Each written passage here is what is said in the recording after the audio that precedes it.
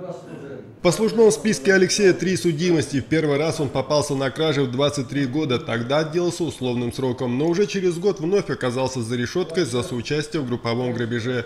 Не отсидев весь срок, по амнистии вышел на свободу и вновь украл. На этот раз в его действиях был признан особо опасный рецидив, однако благодаря исправному поведению в местах не столь отдаленных, он был освобожден условно-досрочно.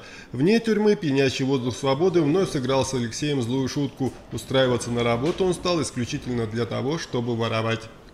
Первая кража была у меня, и на настолько, не настолько крупная, как у, в других местах. Есть э, село Маманай, вот, там строился тепличный комплекс.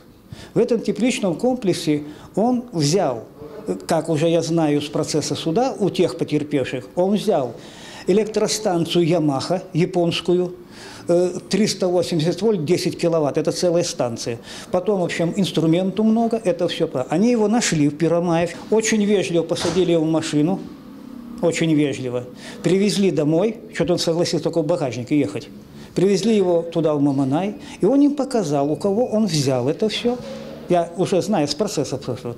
Вот. Они просто-напросто пошли, как-то договорились, свое имущество забрали и никаких исков не подавали.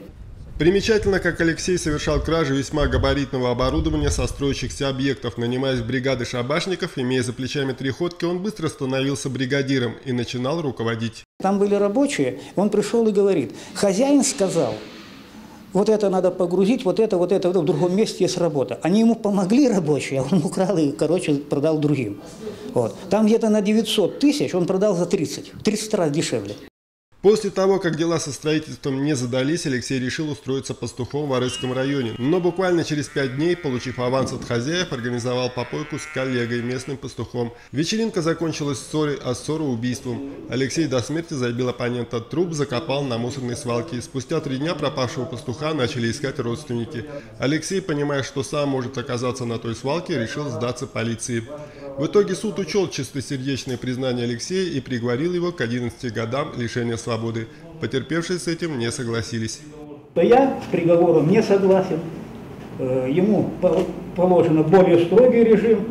Сам Алексей, его адвокат и прокурор высказали единодушное мнение, что приговор вполне справедлив и оправдан. Что приговор в отношении с законом и обоснованными. Тот же срок и тот же режим содержания. Приговор относительно Щипцова специализированного суда по уголовным делам считаю закон обоснованным, подлежащим оставлению без изменений. Апелляционный жалоб без Коллегия областного суда оставила вердикт в силе.